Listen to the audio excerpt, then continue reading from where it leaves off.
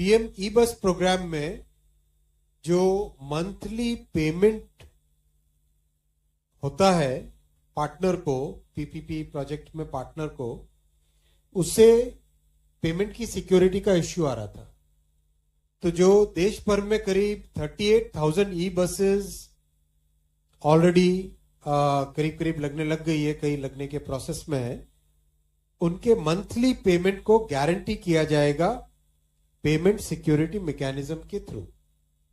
मैं आपको बहुत खुशी के साथ बताना चाहूँगा कि ई बस से जो ऑपरेटिंग कॉस्ट कम होती है, क्योंकि अगर हम डीजल से कंपेयर करें तो electric buses are almost less than half the operating cost. Maintenance cost भी बहुत कम हो जाती है।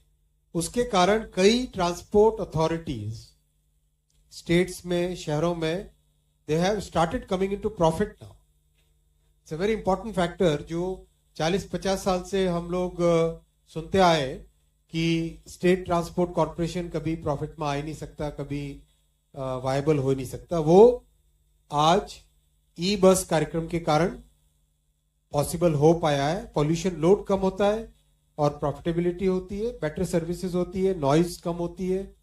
कई तरह के फ़ायदे हैं। तो अब इस पेमेंट सिक्योरिटी मैकेनिज्म के कारण बहुत सारे शहरों में ई बस का प्रचलन और बढ़ेगा। This is another very big milestone in sustainable development